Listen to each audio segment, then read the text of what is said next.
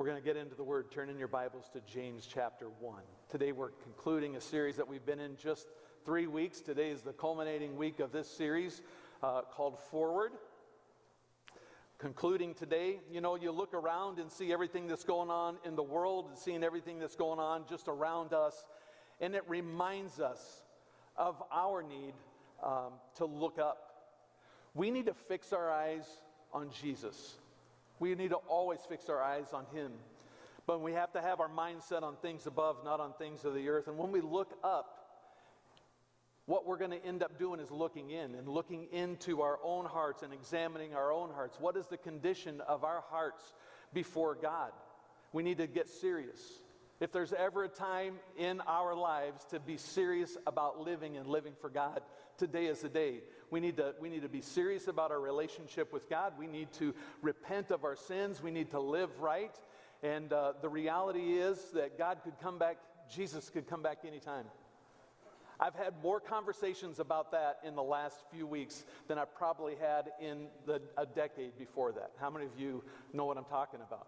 It just causes us to turn our thoughts to that to say, is this the time? Is this the time? I'm sure all through history, since Jesus went back into heaven, he told us to be looking, to be watching, and to be waiting, and to be ready. So through all of time, there's been events where people said, surely this is, this is it.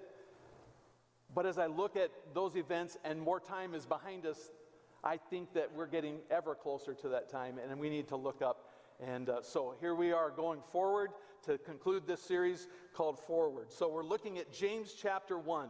Pastor Austin read through some of these verses uh, two weeks ago, uh, but we're going to go back and reread, and I'm just going to take this portion of Scripture, verses 19 to 21, James chapter 1. And this is what he says Understand this, my dear brothers and sisters. You must all be quick to listen, slow to speak, and slow to get angry.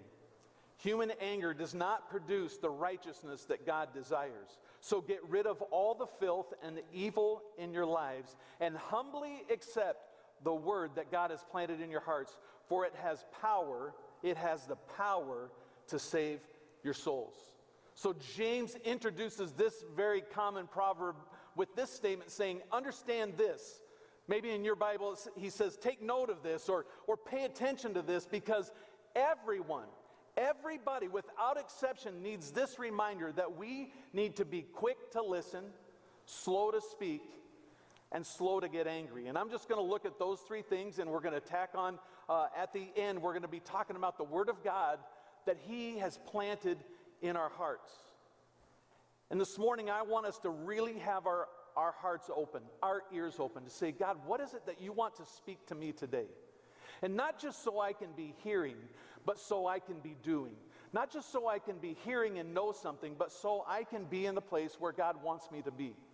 So I can respond in a way that would honor and glorify Him and serve His purpose here in, the, in this world. The first thing that James says is we need to be quick to listen. How many of you are good listeners? How many of you heard me? Quick to listen. Open our ears. One of the greatest tools, life skills that we can develop is that of listening. James says that we need to be quick to listen. We need to develop this ability to be good listeners. Don't just don't just set that aside and say, "You know what? I'm just not good at that." Yes, you can be. James says right here, we all, he said this, he said, take note of this, you must all, all of us need to be quick to listen. There are two good reasons why listening is an essential spiritual skill. First is because that's how faith comes. Paul said in Romans 10 17, faith comes by hearing. Faith comes by hearing, listening and hearing by the Word of God. Faith comes from our ability to hear what the Word of God is saying to us. And so this morning, we're all ears, right? We're hearing, we're listening. We're going to be quick to listen.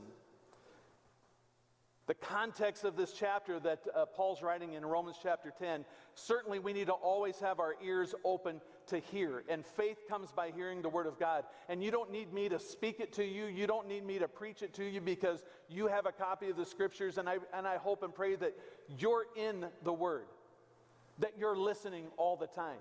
Pastor Austin talked about how God speaks to us through the word, He speaks to us through His Spirit that He can illuminate the scriptures and, and He can guide us and direct us if we'll just listen to what He's saying. But in the context of Romans chapter 10, Paul is talking specifically about preaching the word. It's important for us to be part of this. And I know we've been through uh, some crazy times where 11 weeks in a row we weren't meeting here in this building. And so uh, but all of us had the opportunity to be online, and we have people who are still joining us online. And so, uh, being part of the Word, of the preaching of the Word, to listen uh, to what the Word is saying to us. But back to what James is talking about being, a, a, a, being quick to listen, both naturally and spiritually. Hearing spiritually brings faith to our lives. The second reason that we need to develop the ability to hear spiritually is because of the way that God speaks. How is it that God speaks to you? 1 Kings chapter 19, there's a powerful story. It's the prophet Elijah. Elijah has escaped uh, the, the, he's escaped evil queen Jezebel, and he's gone to Mount Horeb, the mountain of God, and he decides to spend the night there in a cave. You're probably familiar with this story. And Elijah was feeling a little bit sorry for himself, and God told him to go outside to the, to the mouth of the cave. And there, Elijah experienced a great wind, and that wind was so powerful that the Bible says that it even split rocks in two on the mountain. And I'm sure that Elijah looked at the wind, this amazing display of power, and said, Wow, that must be God. God must be in that wind. But the Bible tells us that God wasn't in the wind. And then it records that there was an earthquake. And I'm sure with this earthquake, a whole bunch more rocks uh, broke apart and came off of that mountain. And it got Elijah's attention. And, and probably after that demonstration, he said, That must be God. God must be in the earthquake. But it tells us that he wasn't in the earthquake either. And then it says that there was a fire. And if you've ever seen a big fire, fire can capture your attention just sitting around a small campfire. It's mesmerizing. But imagine a large fire at night or, or whatever. It, it just captures your attention, and fire is so strong and so powerful and can be so destructive. But fire can be so good. But he looks at this, at this fire, this spectacular fire, and said, Surely God's in this fire. But the scripture tells us that God wasn't in the fire. And then it records that Elijah heard a still, small voice he heard a whisper. And that whisper was God speaking to him. I don't know if you find this amazing that the God of all power, who created the heavens and the earth with his words, he spoke and it came to be, who has all knowledge and wisdom and power, and who rules uh, all of eternity. This God speaks in a still small voice. Not in the wind, not in the earthquake, not in a fire, but in a gentle whisper. He doesn't shout. He doesn't roar. He speaks quietly. Who roars? Who is it that roars? 1 Peter 5 8 says, Be sober and vigilant because your adversary, the devil, walks about like a what? A roaring lion seeking whom he may devour. You see, Satan roars and tries to intimidate. But God, who is infinitely more powerful, is the one who whispers,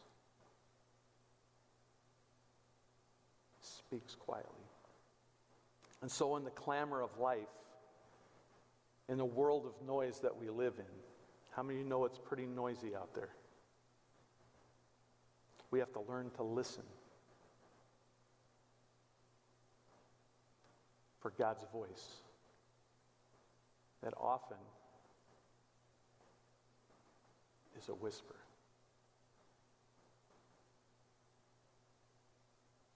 Listen to the voice of God. Listen because He's speaking. As we practice and learn to listen to God, it's going to cause us to be a good listener with other people. And if there's ever a time that we live in today, we need to listen. We need to listen to each other. What follows listening is being, uh, we're, we're to be quick to listen and slow to speak. Not speak slowly.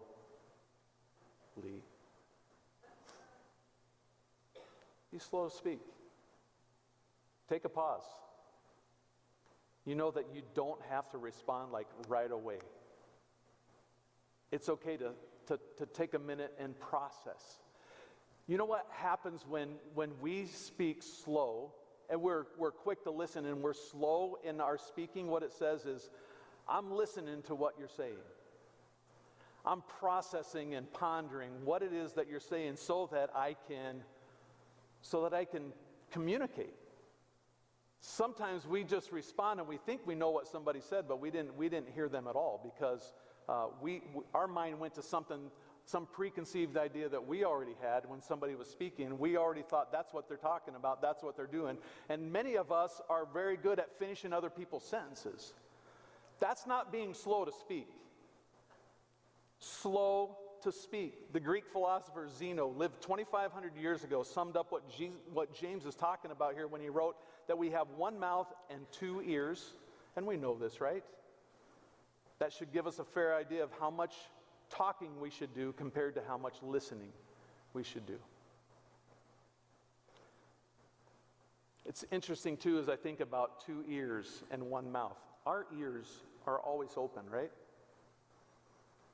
This week I'm, I'm looking at, you know, stuff that can get down in your ears. Don't, don't go looking. I'm, I'm, as I'm telling you, don't go looking. Some of you are going to go looking, but there is some videos online of things that come out of people's ears.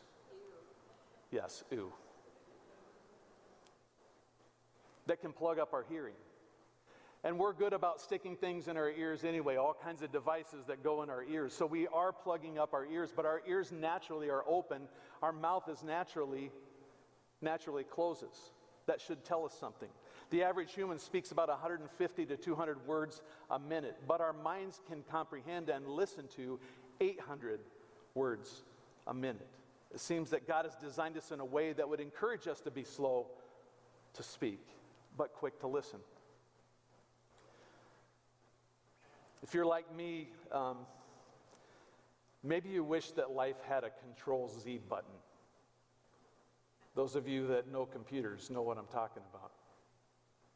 If you, uh, if you don't, aren't familiar with all these hot buttons on your computer, Control A selects all of your text, Control C copies, Control V paste, Control X deletes, Control Z, what does it do? Anybody know? Undo.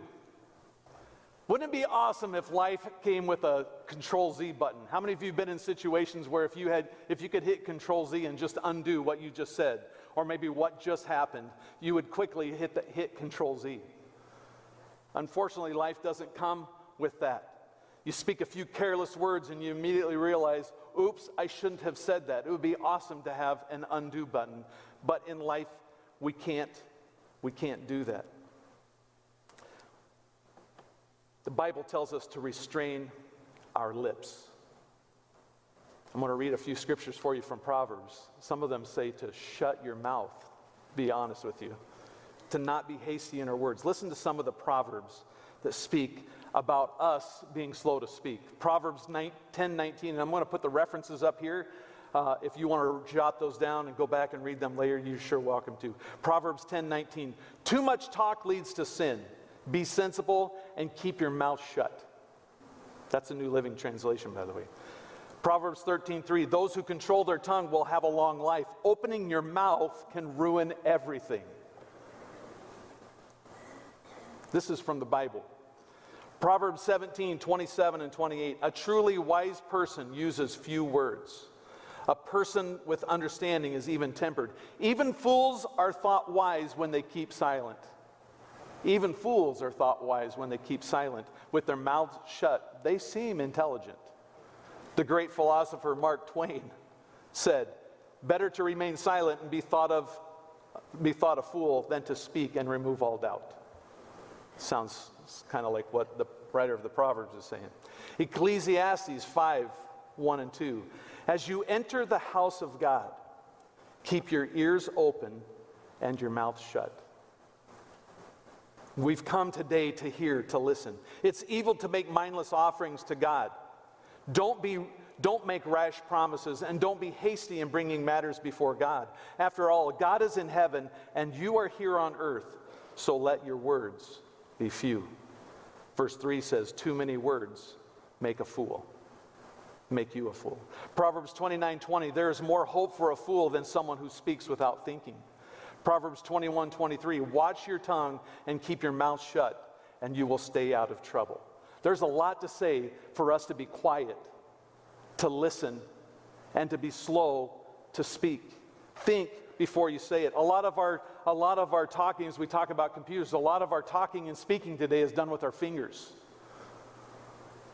And we're so much more quick to say something when we're talking like this in front of a computer screen.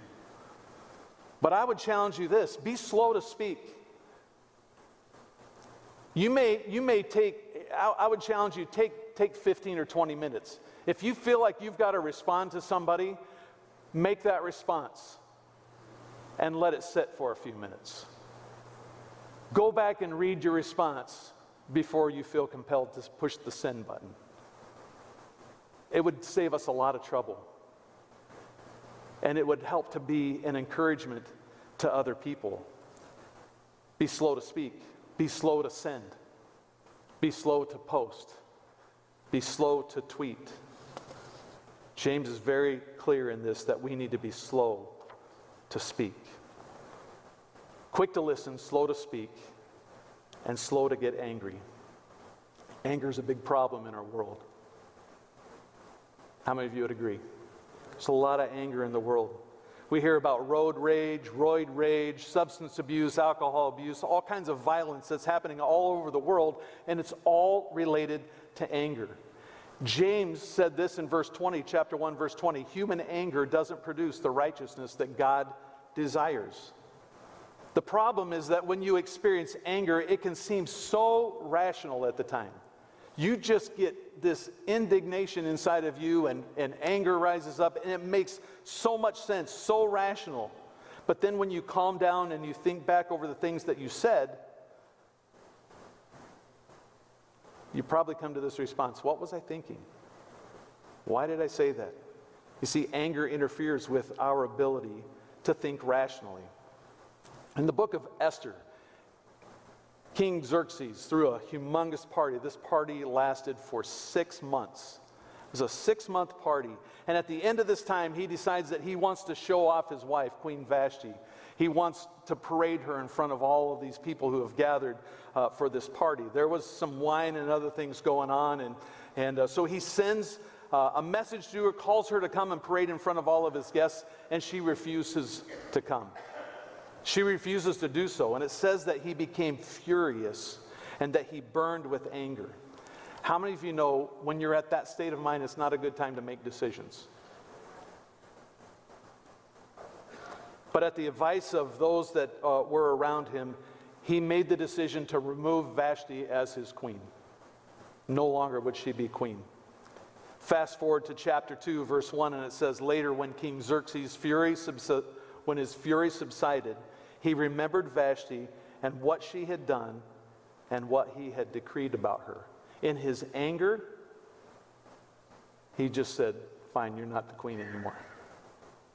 But when his anger subsided, he remembered what he had done. At the height of his anger, it was too late because custom was whatever the, queen, whatever the king decreed, it, was, it could never be undone. Just in a moment of rage. I wonder how many of us, in a moment, we've said something, we've done something, we've made a decision that maybe didn't affect the rest of our life, but it affected our life and some people around us. I'm sure we all have some kind of regrets, and that's why God tells us to be slow to get angry. There is a righteous anger. But that anger has to do with injustice in a biblical sense. There is, a, there is a good kind of anger. The Bible talks about Jesus being angry. The Bible talks about God being angry. But the Bible says that in your anger, don't sin. This is the kind of anger. It says, James says, human anger isn't, it doesn't bring about the righteousness that God desires. We're to be slow to get angry. Another reason that he tells us to be slow to be angry is because that's God's nature. And for us to be like God, we have to be slow to be angry.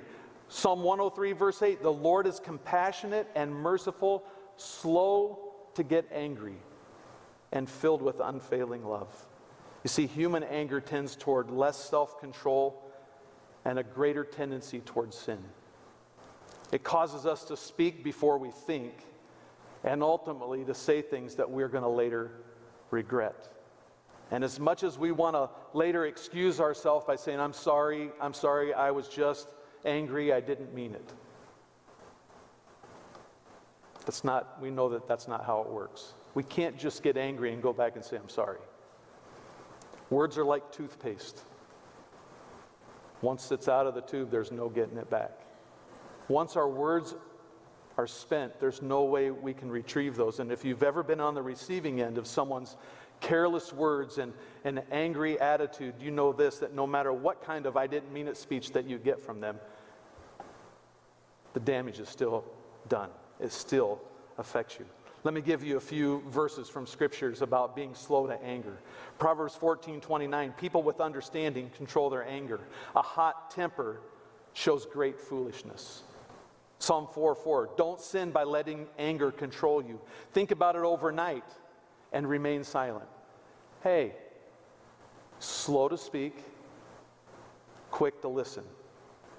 Proverbs 15, 18, a hot tempered person stirs up conflict, but the one who is patient calms a quarrel. Proverbs 19, 11, sensible people control their temper. They earn respect by overlooking wrongs. Ecclesiastes 7, 9, do not be quickly provoked in your spirit, for anger resides in the lap of fools. Proverbs 29, 11 says, a fool gives full vent to his spirit, but a wise man quietly holds it back. The question is here do we want to be foolish or do we want to be wise? The question is do we want to look like God or do we want to look like the enemy?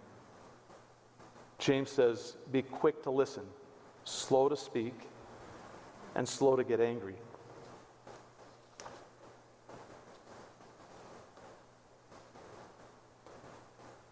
The last thing that he says, verse 21, he concludes by saying, Get rid of all filth and evil in your lives and humbly accept the word planted in you.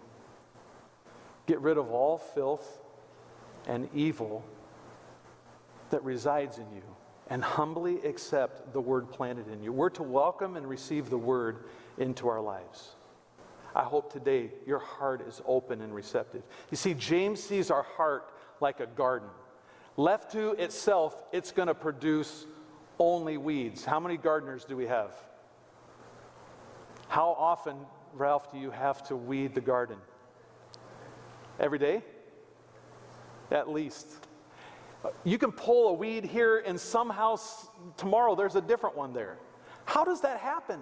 It takes us tending to the garden. James says our heart is like a garden. He tells us to pull out the weeds, to get rid of all the, the, the moral filth and the evil that resides in us, to prepare the soil for this implanted Word of God. God's Word, He wants it's like a garden and it needs to receive the seed. You go back to Matthew chapter 13, Jesus did this, the parable of the soils. I preached on this back in January. Go back and listen to that. But it all has to do with the soil of your heart it takes some tending to. Jesus said to religious leaders in John 8 37 who were trying to, they were trying to kill Jesus. They were trying to get rid of him. And he said to them, You're trying to kill me because there's no room in your hearts for my word. There's no room in your heart. The word of truth wasn't implanted in them. The reality is that these leaders, these religious leaders, knew their Bibles better than anyone else. But Jesus said, You're trying to kill me because there's no room in your hearts for my word. The word had no place in them, it wasn't implanted in them. And the reason why is because they were too full of themselves to receive the word. So, the question that I want to ask all of us this morning is Is there room in your heart for God and for His Word? Do we make room for Him in our lives, or are we too full of ourselves? It's a real thing.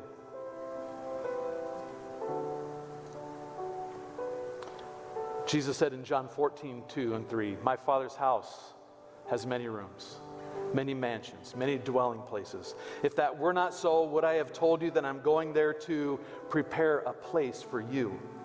And if I go and prepare a place for you, I will come back and take you to be with me, that you may also be where I am.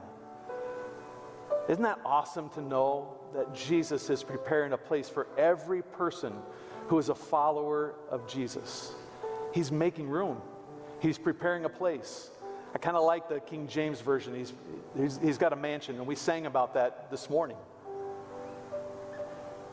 About the mansion, the place that He has prepared for us. So here's the question What if God gave you room in heaven in direct proportion to the room that you give Him in your life here on earth? What if God gave you room in heaven in direct proportion to the amount of room that you give Him in your life here on earth? Are we so full of ourselves that there's no room for God and for His Word? Joy to the world. The Lord has come. Let earth receive her King. Let every heart do what? It's a Christmas carol. You remember that? It's July. Let every heart prepare him room. You see, seeds can't find life in soil that doesn't welcome it. And so the question is today what's the condition of your heart? What is the soil of your heart? How do we how do we prepare the soil of our hearts for God's word? The first thing is that we confess our sins and ask Jesus to forgive us. We take care of that hard, junky, um, weedy stuff that's in our heart. He says, Get rid of all the evil and the moral filth. Get rid of that so that you can humbly accept the word that God planted in you, so that we can receive the good seeds. 1 John 1 9 says that if we confess our sins, He is faithful and just to forgive us of our sins and purify us from all unrighteousness. Ask Him to come in to forgive and clean up our hearts. He's faithful to do that. The second thing Jeremiah 4 3 says, plow up the, the hard ground of your hearts. We need to plow up the ground in our hearts. We need to prepare some good soil. Get the weeds out, get the rocks out, get all the junk out, and soften up the soil. All, those of you that are gardeners, most of you probably have tillers, right? You got to turn the soil and get the soil loose so that it can receive the seed. Because if it's just hard packed dirt, there's no way the seed's just going to sit on the top and it's not going to do anything. If God's word that He has implanted in our hearts is going to take root, then we've got to turn up the soil. We've got to plow the hard ground of our hearts. And third is have an attitude of humility. Humility is the opposite of anger when you humbly accept the Word of God. Receive the Word of God with humility. You receive it, you don't argue with it. Sometimes God's Word, what He's speaking into our hearts, sometimes it hurts. How many of you have been there? It's hard to hear. But don't argue with it. Honor it as God's Word. Let it shape you, let it transform, let it change you into the person that He wants you to be. It's easy to say, be quick to listen, slow to speak, slow to become angry. The only way we can really, truly do that is through the Word of God that's implanted in our hearts to humbly receive that word. I want to ask you to bow your hearts with your.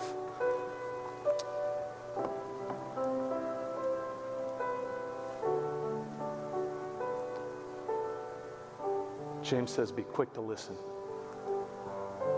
With your head bowed, your eye closed, take this posture. God, you're speaking to me. What do you want to say to me?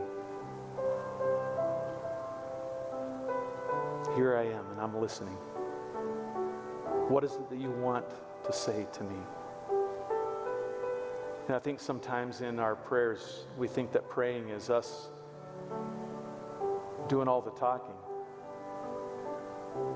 But I think a greater and more effective time of prayer often is just being still before the Lord. I'd much rather Him talk and speak and me listen to what He has to say than just to get stuff off my chest. Listen to what He's saying.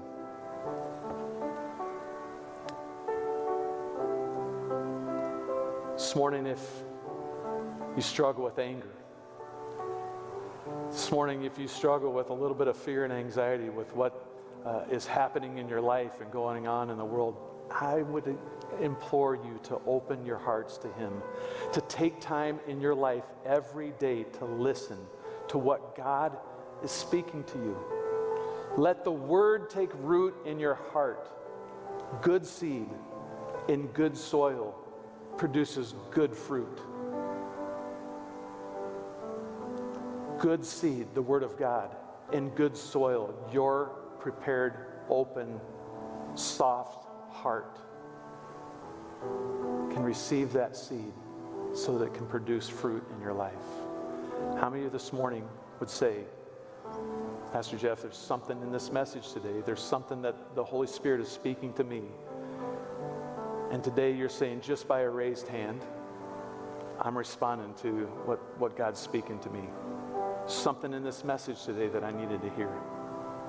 Your raised, your raised hand doesn't change, it doesn't change things. What needs to happen from this point is that you continue to listen and you follow through and do what he says. Is there anyone this morning? You're here in the sanctuary, you're watching online, and you'd say, Your heart has been hard. You're struggling with just junk and things in the world, and your heart has gotten really hard. And you know it's one of those hearts like James is talking about that we need to get rid of the, the filth and the, and, the, and the junk that's there so that God can plant his word in our hearts so that he can change us and make us who he wants us to be. If today you're, you're saying, I don't know Jesus, I'm not living for him, he's not the Lord of my life, it's as simple as saying, Jesus, come into my heart. And you could pray a prayer like this Jesus, I open my heart to you. Reveal in me anything that's wrong. Forgive me of my sin. I'm sorry for doing my own thing and going my own way. I make you Lord of my life. You be in charge. And I'll be quick to listen slow to speak. And with God's word and his spirit in our life, we humble ourselves before him. I believe the anger will begin to dissipate and just fall away. Father, this morning, for every person in this room that responded by saying, You're speaking something into my heart, that you would give them the next steps as they listen and open their heart to you, open their ears to you, that you would give them the next steps of what they need to do in this, in this journey, in this life of following after truth and following after you. Thank you. You're such a faithful God. You love us so much that even while we sin, even though we sin, you're faithful to forgive us when we confess our sins and you purify us, you clean us from all the filth and the junk. Thank you for loving us, for saving us. Give us a new sense of purpose as we move forward. May we be reminded that we are to be quick to listen. The first thing we do is listen, slow to speak, and slow to become angry. In Jesus' name, amen Amen. today if you um, made, made a decision in your heart. Maybe it was to open your heart to Christ and to, to follow Him. Uh, let us know. You can stop by the Fresh Start Center if you're here. If you're watching online, just send an email. You can send it to me, jeff at newhope.church. And uh, we want to be able to come alongside you, help you, give you materials that will help you in this journey. We're here for each other. We need to encourage each other. There is so much that we need to, to do in the, in the world that, that we live in. Rather than us being affected by the world, I want us to affect the world. And we can do that if we're listening to God and we're responding to Him, because part of listening is hearing and then being obedient to do. That's what we need to do. Let God's Spirit, His power, His purpose, all of that be inside of us so that it comes out of us. That's my desire for all of us today, for us as a church, for each of us as individuals, that we would be a representation of God's love. Would you stand with me this morning? We're not going to sing a song. We're just going to listen to Eric play for a little while. Thank you for playing. No words, because I want you to listen. I just want you to listen. Not just come into church. Did you like that scripture that says, come into his sanctuary and open your ears to listen and shut your mouths? That's what we need to do, a posture before God. Let's do that with other people too. Let's truly care, love, and listen.